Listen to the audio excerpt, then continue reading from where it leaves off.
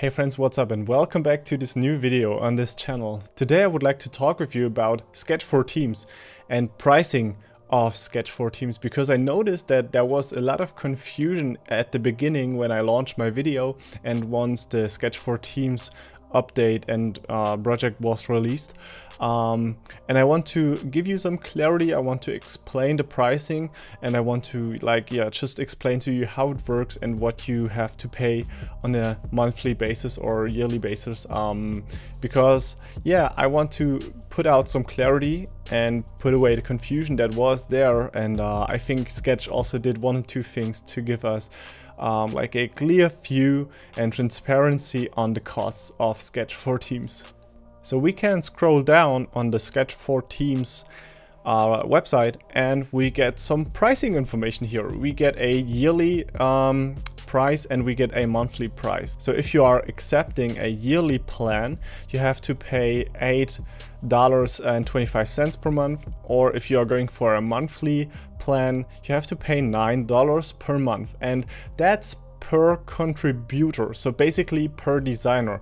Every designer in your team that is going to create designs and that is going to upload designs into like Sketch Cloud um, and um, into your Sketch for Teams uh, account will have to pay this amount. So for example, you are going for the monthly plan and you have three designers in your team, then you have to pay $27 per month.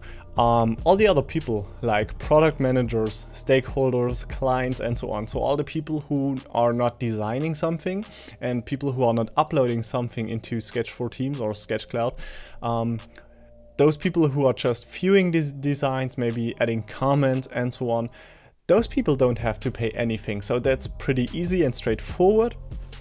But now we get to the point where people got confused. So people were like, okay, do we have to pay this additionally? Um, additionally to our yearly sketch fee. So i think sketch is like $99 a year. Um, and they were like okay um, it's probably going to get pretty um, expensive if we have to pay for sketch for teams and if we have to pay for our normal sketch license too and uh, there was a big confusion about that because if you pay your uh, $8.25 or $9 each month, you will get the Mac app and it's included. So the updates and the Mac app is included. You don't have to pay it additionally. It is like the, the whole uh, amount of money you have to spend for owning like the Sketch license and for using Sketch for Teams in the um, time frame that you are going to pay for. So it's actually pretty straightforward, you don't have to pay it additionally. And the best thing about it is that it comes with a 90 day free trial. So you can just try it out, uh, you can use all features and you can just join the beta using this button.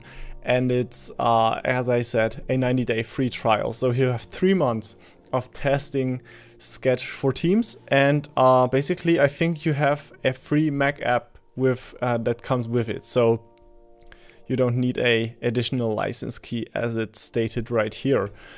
Um, I hope that gives you some clarity because I can understand that some people, um, some maybe freelancers or small companies, maybe private, like people who are just owning Sketch for uh, non-commercial non-commercial things.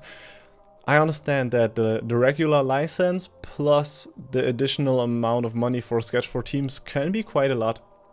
But that's why Sketch said, okay, let's just give them a basically like a license for free when they grab uh, Sketch for Teams and when they pay it on a monthly or yearly basis. So um, it's pretty good that they did that. I'm happy about it and I hope that it, you now understand the pricing thing. Um, I'm not sure if this little paragraph was there when I made the video or when you first came to this site.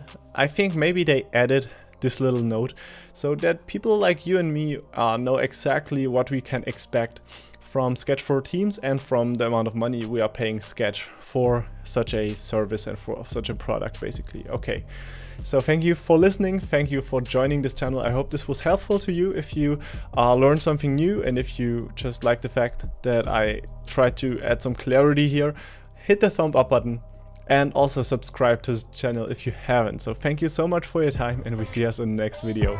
Bye!